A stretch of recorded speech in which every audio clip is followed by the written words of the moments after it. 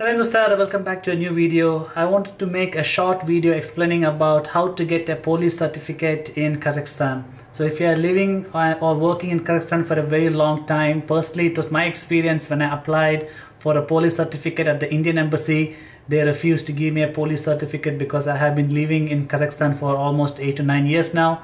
So then I had to go to a place called TSON, T-S-O-N. It's like a government place, it's well organized. It's the place where you go for everything, for police certificate, for birth certificate of your children, for any kind of documents, house registration, everything you need to go to this place called SON. So if you want a police certificate, you just go to this place with your passport and the document, EIN document IIN. Uh, it's a tax document given to you if you're working or living in Kazakhstan. So take your passport, original passport, uh, in, and just to make your life easier, if you have, take a copy of your translated passport take a translated copy of your passport either in Kazakh or Russian.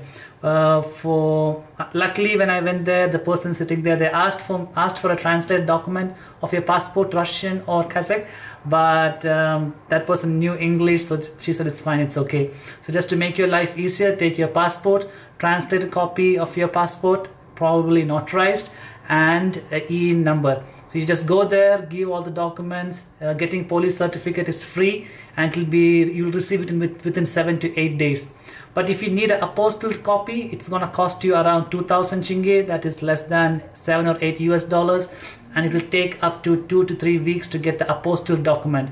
So you have two options: either get the police certificate for free it's much more easier and faster but if you want to apply your police certificate outside Kazakhstan you need to get it apostilled again the same location TSON 2000 tenge a bit more time required. That's it. Hope you enjoy.